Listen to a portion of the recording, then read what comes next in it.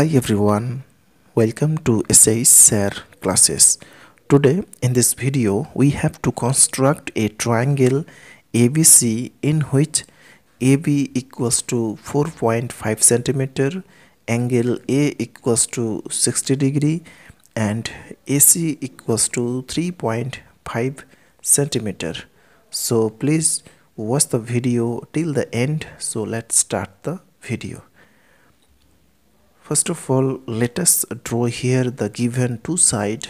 So first AC equals to 3.5 centimeter. So starting 0 and this is 3.5 centimeter line and drawing another 4.5 centimeter line segment so this is 4.5 centimeter line segment okay. So here this one AC line and this one AB line. So AC equals to 3.5 centimeter AB equals to 4.5 centimeter. Now again drawing here the side AB equals to 4.5 centimeter. So this is starting 0 and this is 4.5 centimeter line. So now taking here point A and here B so AB equals to 4.5 centimeter. Next drawing 60 degree angle on the point A. So putting the compass on the point A and taking any length and drawing a arc by this way again putting the compass here and taking same length and cut here.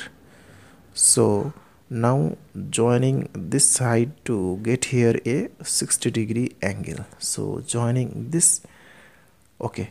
Now checking this with the help of protractor whether it is 60 degree or not so this is perfectly a 60 degree angle.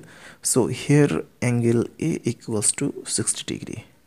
Now taking the length AC equals to 3.5 centimeter with the help of compass by this way. Perfect. Now putting the compass and cut here. So now taking here point C and joining the side BC to get here the triangle ABC so joining this and here AC equals to 3.5 centimeter.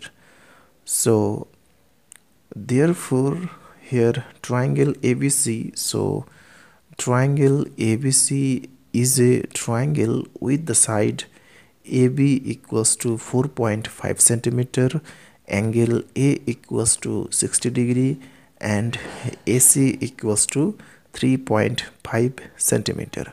So that's all. Thanks for watching. If this video is helpful to you then please share it